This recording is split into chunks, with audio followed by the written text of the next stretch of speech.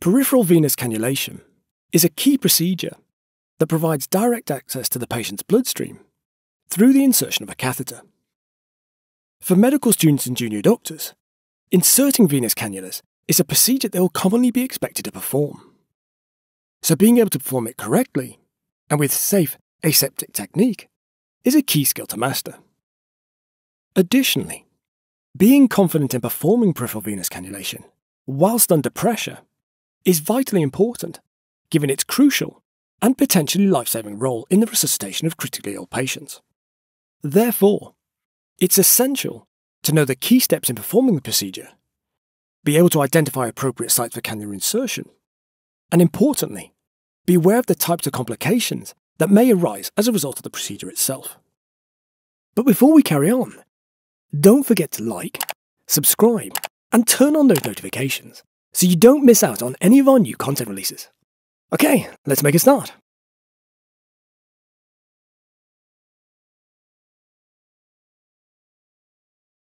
The indications for performing venous cannulation include the administration of intravenous fluids and blood products, the IV administration of particular medications, nutrition, and also chemotherapy.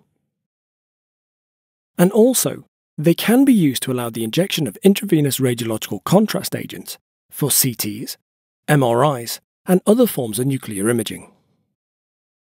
Whilst there are no specific absolute contraindications to venous cannulation, there are several relative contraindications. These include the patient having a significant burn or infection at the proposed site of cannula insertion, or if the extremity is severely injured.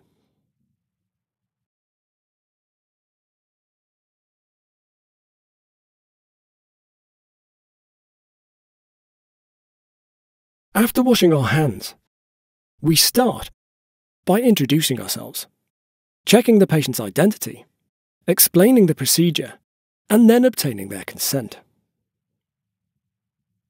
We make sure the patient is in a comfortable position and that their arm is well supported at the height that is easy for us to access. We can now set up our equipment on our clean treatment trolley. The equipment we need for cannulation includes antiseptic skin preparation, non sterile gloves, a cannula, an adapter for the cannula device, a tourniquet, some sterile gauze, saline solution, a cannula dressing, and a sharps disposal bin. We then put on our non sterile gloves and check the patency of the lumens of the cannula adapter. By flushing each of the lumens with saline.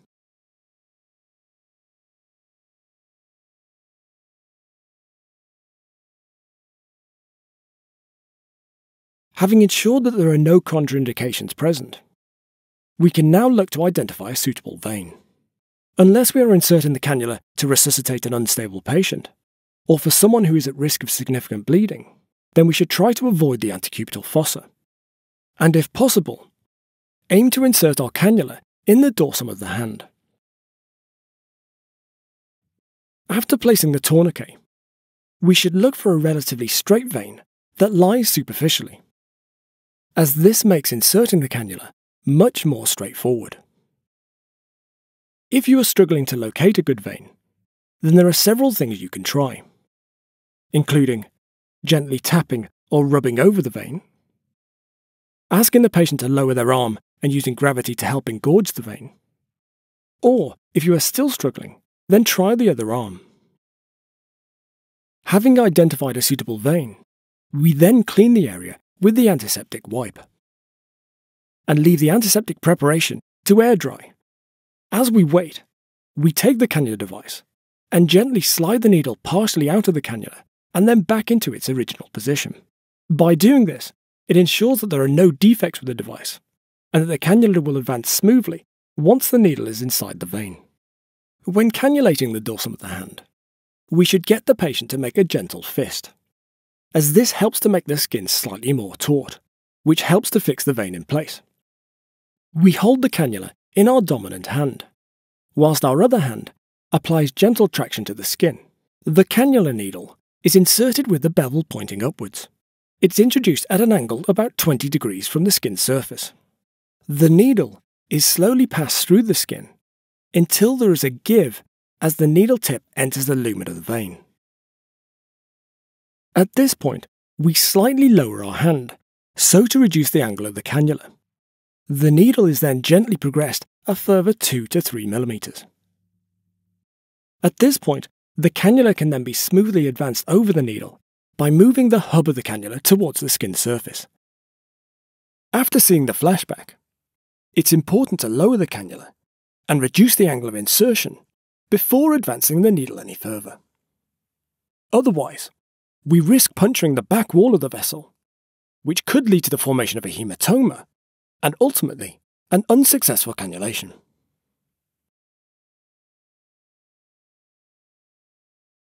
We can then release the tourniquet and the needle can be removed.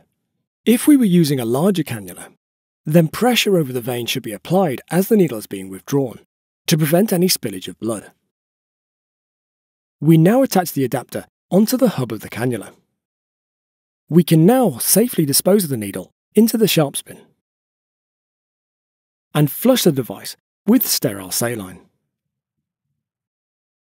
As we do this, we should check that the patient does not experience any discomfort and that there is no swelling around the cannula as this would indicate that the cannula is sitting outside of the lumen of the vein, and therefore would need to be removed. If we are happy that the cannula flushes fine, then we can secure it with adhesive strips before applying a transparent dressing. Additionally, we also apply an adhesive label with the date that the device has been inserted written upon it. We can now safely dispose of our equipment wash our hands, and document the cannulation in the patient's notes.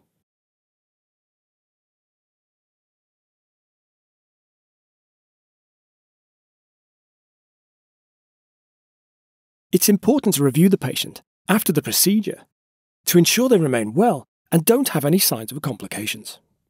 Further to this, with regards to managing the cannula, we should ensure we use aseptic technique Undertake regular flushing to maintain the patency of the lumen. Keep the cannula and the dressing clean and dry. And also, ensure that regular reviews of the cannula site are performed, so as to identify any potential complications. Typically, it's recommended that most peripheral venous cannulae are kept in situ for up to 72 hours to help reduce the potential for complications. But ensure that you're aware of the specific policy of the hospital in which you're based.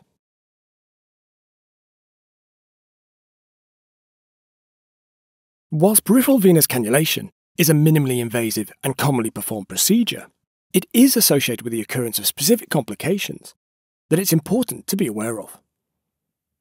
These complications can be divided into two groups immediate complications, or those associated with the actual insertion process, and late complications, which are those that are associated with the presence of the catheter itself. In terms of immediate complications, we have being unable to successfully cannulate the vein, bleeding or hematoma formation, which are typically associated with the unsuccessful cannulation attempt. We also may cause injury to adjacent structures, such as blood vessels or nerves.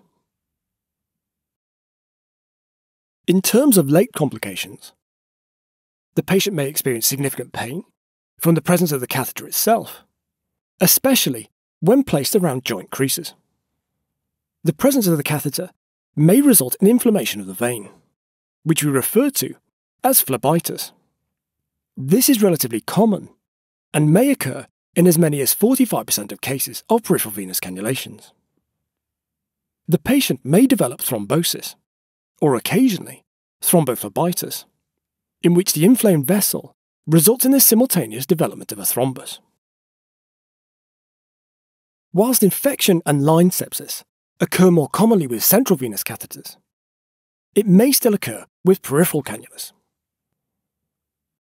It's typically associated with non aseptic technique during insertion, poor post procedure management of the device, and also keeping the cannula in situ for too prolonged a period. If the catheter becomes displaced, this can lead to extravasation or the administration of fluid and medications outside of the vein, which may lead to pain and swelling, and in severe cases, compartment syndrome and tissue necrosis, particularly when administering chemotherapy. If you found this video helpful, then make sure you subscribe to our channel for more great free content. Or, if you want to make learning for med school and board exams easier, then subscribe to surgicalteaching.com and check out our expert endorsed videos, high yield revision questions, and our supportive online community. Surgical Teaching was designed by doctors to help students learn smarter. And right now, you can enjoy all of our great content for less, with 20% off our annual premium subscriptions when using the code STYouTube20. Thanks for watching, guys, and I'll see you soon.